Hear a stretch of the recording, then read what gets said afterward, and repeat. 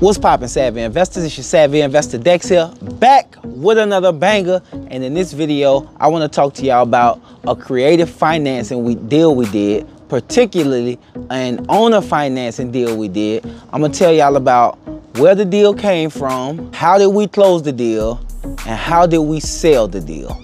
Right here, strap in, Lego. So guys, this lead came in through a marketing channel that we recently got on about three weeks ago, my partner, about three, four weeks ago now.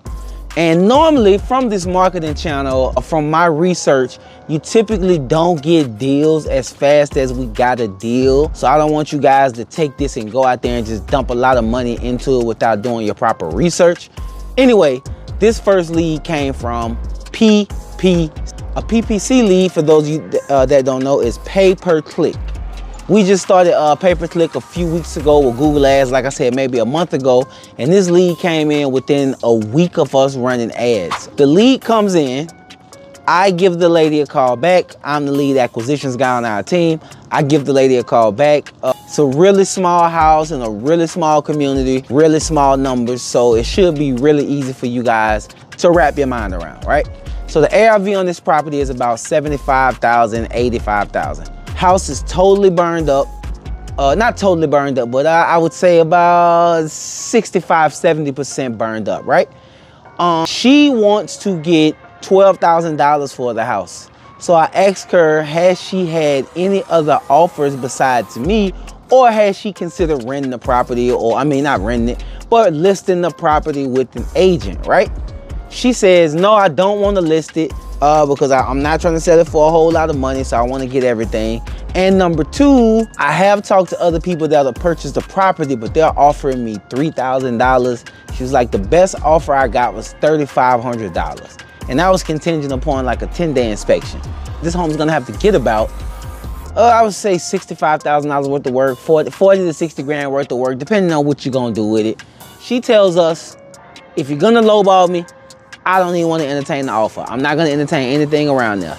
I said, I tell you what, you said you want 12 grand. I asked her a slew of questions, kind of like this. First of all, is is there any debt on the property? Meaning, do you have a mortgage? Do you have any kind of loan against it? Did you refinance? Did you get a HELOC? What, is, is there any kind of debt against the property? No, Dexter, there's no debt on the property. Taxes are paid up. There's no code enforcement liens.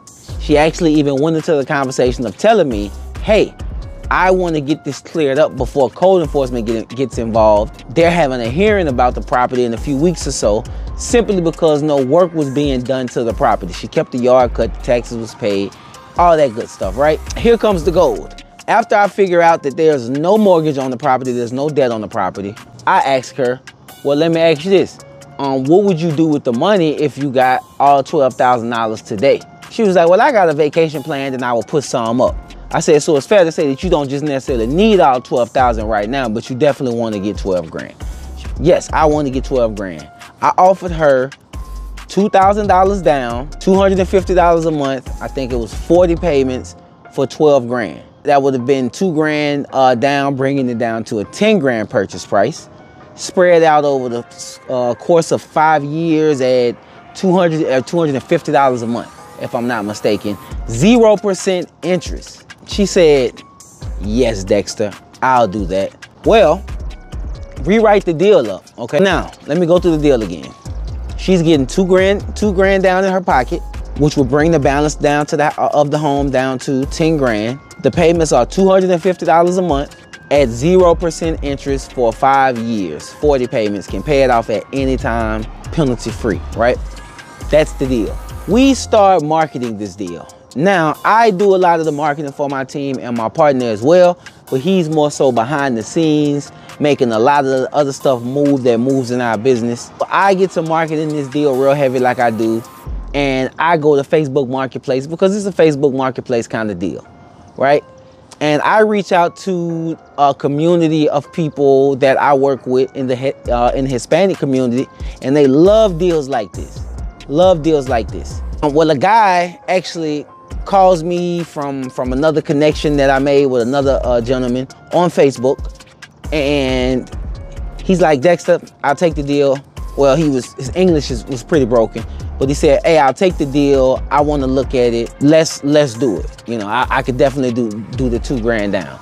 So I tell him, um, I said, "Well, actually, you know, it'll be thirty five hundred down minimum um, for our assignment fee, right?" Uh, he's like, "Fine, no problem. I have a contact that I work with here locally that uh, is fluent in Spanish, and he's like the top uh, closing attorney at the Hispanic Chamber of Commerce. He's uh, very credible, been in the business about 20, 30 years, something like that. Uh, like I said, uh, he's from the Spanish community. So it's a lot easier to bridge that gap as in regards to making people feel comfortable um, doing transactions like this. And I connected those two dots and they hit it off real well. The guy called me, he was like, yeah, great, I wanna do it. We got the deal closed. We made $1,500. The seller got her full 12 grand asking price just on terms, 2K down, and everybody was happy in the deal, right? We got this deal within six days, seven days of starting our PPC campaign. And we would have never gotten this deal if we didn't understand creative finance. So that was the whole point of me coming to y'all today shooting this video. Uh, we just closed on this one a few days ago. Uh, guys, you gotta learn creative finance. It definitely changed the game for me. I don't even see deals as cash anymore. I go in creative finance and cash second, but that's a whole nother uh, video on how I break down my offer to sellers. I appreciate you guys for checking it out. It's your Savvy Investor Dex, and I'm out.